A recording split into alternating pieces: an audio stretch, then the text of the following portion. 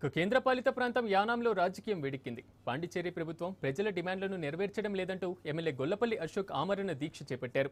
ఇక యానం పరిపాలనా కార్యాలయం ఎదుట తన అనుచరులతో కలిసి ఆందోళన చేశారు. ఇవాల్టి నుంచి మూడు రోజుల పాటు జరగనున్న ప్రజా ఉత్సవాల కోసం పుదుచ్చేరి మంత్రులు యానంకి చేరుకున్నారు. ఈ నెల తొమ్మిదిన ముఖ్యమంత్రి రంగస్వామి రానున్నారు.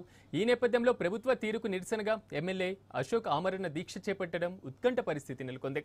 ఇక తాజా పరిణామాల నేపథ్యంలో ఎలాంటి అల్లర్లు జరగకుండా యానాంలో పెద్ద ఎత్తున పోలీసు బలగాలు మోహరించాయి.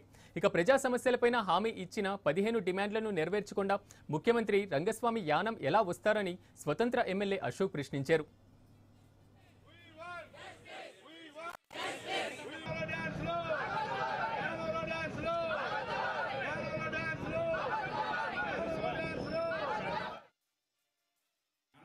ప్రజాోత్సవాలు దేనికోత్సవాలు సుమారు వరదలు వచ్చినాయి. అప్పుడు కనిపించలేదు యానం? కేవలం ఏదో చేసేసాను.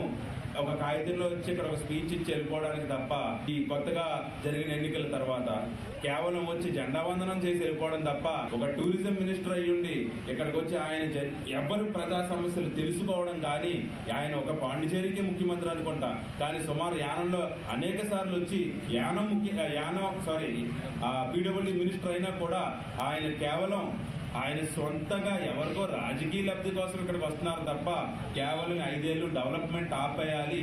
యానం ప్రజలని ఇక్కడ ముఖ్యమంత్రిగా పోటీ చేసి ఓడిపోయిన అక్కసుతో ఇక్కడ ప్రజలెవరికి కూడా ఏ పని కూడా జరగకుండా చేస్తున్నారు.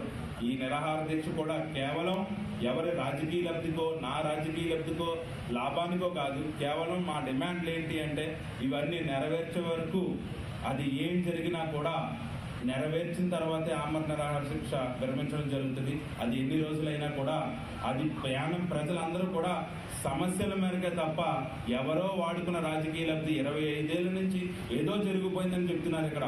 ఏదో జరిగిపోతే కొత్తగా నేను వచ్చి చేసేదే ఉంటుంది సంగారెడ్డి జిల్లా